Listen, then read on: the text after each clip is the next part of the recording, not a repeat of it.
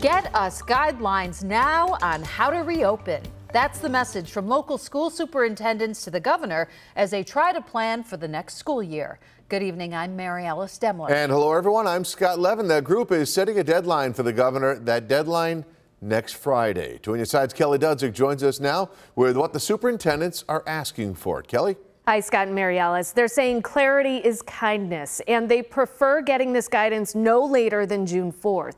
So it's a kind deadline. The Erie Niagara School Superintendents Association sent this letter to this state before the governor announced yesterday that he'd like all students back in the classroom this fall. They say it's better to plan now instead of at the last minute. And as far as face masks go, the superintendents are saying that guidance should also be coming from the state.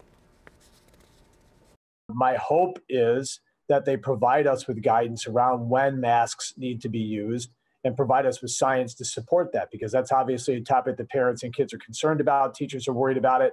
Um, you know so we need to be able to have some scientific basis for the policies that we're going to have to implement consistent with the guidance. So whatever their position is going to be on masks it needs to be supported by the science so that we can support it here in our local districts with parents who are going to have questions about it they're also looking for a commitment to full in-person learning with guidance on what the school day would look like for staff and students. Superintendent Cornell says other groups of superintendents across the state have asked the state for the same thing, guidance so they can plan now instead of scrambling right before school starts. Kelly Dudzik, Channel 2 News.